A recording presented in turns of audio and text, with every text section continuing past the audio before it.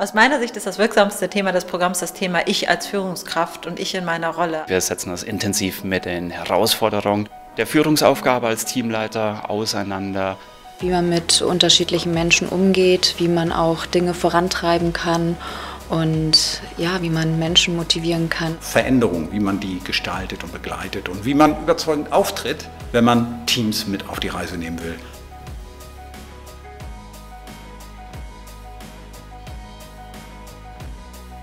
Wir setzen einen bunten Blumenstrauß an Methoden ein. Das beginnt natürlich mit Input von uns als Experten, geht über Kleingruppendiskussionen, über Übungen, über verrückteste Sachen wie auch mal etwas tun, was man gar nicht erwartet hätte.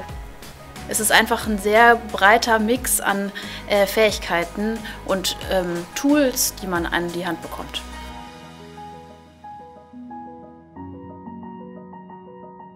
Wir arbeiten an konkreten Fällen, nicht an Fallstudien, sondern wir behandeln wirklich die Themen, die die Teilnehmer interessieren und auch mitbringen.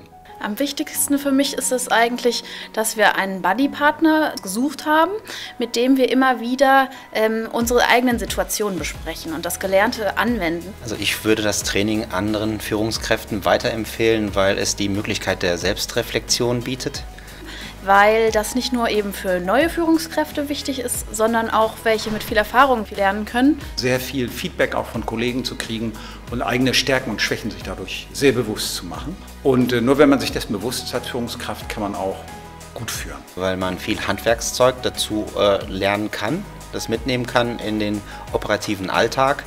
Ja, und natürlich auch sein Netzwerk hier, hier erweitern mit anderen Bertelsmann-Mitarbeitern. Die Leadership Journey ist für mich innovativ, dynamisch und gewinnbringend.